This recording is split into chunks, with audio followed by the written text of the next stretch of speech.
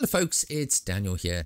Today we're going to be looking at how to reduce the shine on a subject's skin tones. So what am I talking about when I talk about shine? This is exactly what we're talking about here.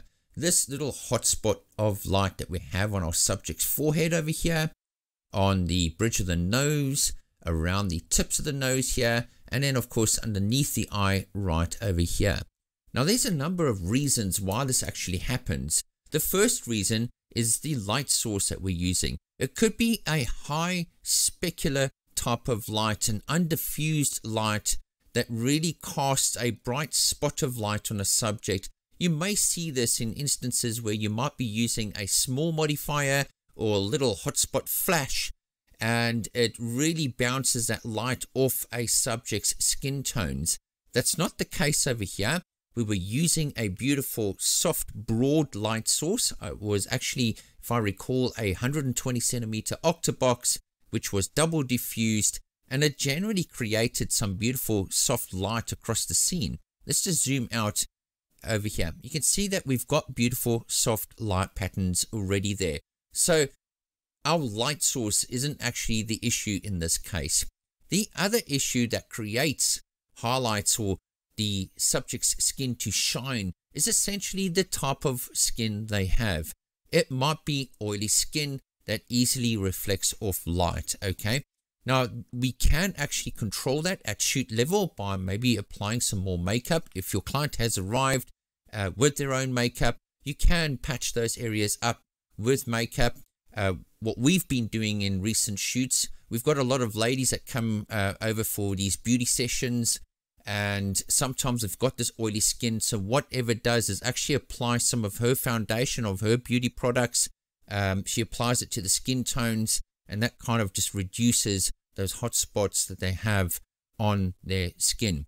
So this is really what we were dealing with in this case over here, but we didn't apply any makeup to reduce that in the first place. So we always try to get the best we can at camera level, of course, so it reduces the workload later on. But in this case, we couldn't avoid it, and now we have to deal with it inside of Photoshop. Now, for those of you who follow my tutorials, will see that I normally use frequency separation for the process of actually smoothing out those tonalities and reducing those hotspots on our client's skin. I've discovered an alternative way of doing this and it just simply adds to the toolbox or the list of tools that we can use to reduce highlights like this or reduce the shine of client's skin. So it's going to be a bit of a strange one because the actual name of this filter hasn't got anything to do with what we think it does. And it's actually called the selective color tool, right? It's right down here in your adjustment panel. It's called selective color. We're going to click it once. Okay. And there's a couple of things that I want you guys to do first in order that, in order for this to actually work. So we've got the dialog box right over here. The very first thing that you're going to need to change is from relative to absolute. Okay. You need to make sure that this little radio button is checked here on absolute. Okay. Yours by default might show as reds. What we need to do is change from reds to whites. Okay. Now let's just look at this from this perspective here. We've got colors here and we've got white, neutrals and blacks. Those can be viewed as illumination patterns. Okay, so we're going to click on white because why? This shininess or the shininess in skin is actually highlights essentially, and those highlights contain elements of white. Okay, so what we're going to do here is reduce those highlights by bringing down the white point or the whites in those areas. So how do we do that? What we need to do is head on to the black slider here and ramp it up. Now we can go all the way to the extreme to where it shows us these gray areas. We know we've obviously gone too far. I like to go to the extreme and then back off slowly until that gray kind of disappears. Okay. It's not going to disappear completely, but you'll notice that these highlights aren't as strong as what they were. Let's look at the before and after. Before and after. But you'll notice that there's a lack of color in those areas.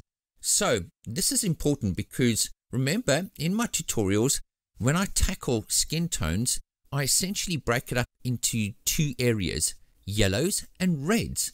Okay, lo and behold, we've got those two control points right here, yellow and magenta. I see magenta as red, okay? So what we're going to do here is actually add those two colors into those highlights. And how do we do that? It's simple. We're just going to go with a slider with the yellows. We can go to the extreme here. You can see where that yellow is and then back it off slowly until it disappears like so. Look at that. Okay. We're already trying to align the tonalities of those highlights with the rest of our skin tones. Now we need to add in a little bit more red in those areas. So all we need to do is go to the magenta slider here and slide it up the same way. Go to the extreme and then back it off slowly but surely until you see the right matching amount of magenta. In this case over here, it's like literally one or two percent. Okay. Now, obviously what's happened here is that we're actually affecting everything in our image. What we need to do is click this mask over here and invert it, right? Control I or Command I if you're using a Mac. Invert that layer so we don't see those adjustments anymore. And what I want you guys to do is head on over to the brush tool, set the flow to about 30% and then your opacity to 100% because this will allow you to build up that painted area. What I'm going to do is I'm going to resize my brush to about the size of the highlight in that area right there. Okay, I'm just going to paint over that and look at that. I've taken away that hot spot or that highlight and that shine to my client's skin. Let's go over to the bridge of the nose here. I'm going to do exactly the same thing here, but I'm going to resize my brush to the size of that highlight on the bridge of the nose and over the tip of her nose right here. Okay, so now underneath the eye, same process. Just paint over that little highlight like so. And look at that. Okay, we completely gotten rid of the highlights or that shine in the skin. Now this might be quite aggressive in this case here.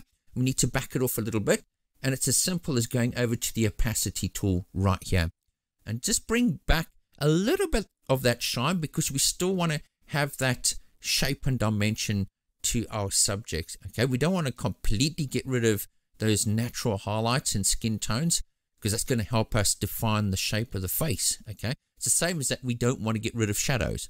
We need to look at highlights the same way. Okay, so let's have a look at the before and after. Simple. Before and after. So there you go. Now, let me just again talk about what causes it. Okay, because we see many tutorials out there that show you how to do things, but they don't really explain why it happens. So if you're getting hot spots of light on your subject, it could be the nature of the modifier you're using or the flash system you're using how far it is or how close it is to a subject. Okay, it could be the fact that your subject's skin is naturally oily, in which case you need to deal with it perhaps on location if you can. You know, you always want to try to eliminate those issues before you get to the post process stages. Okay, now I've actually noticed one thing.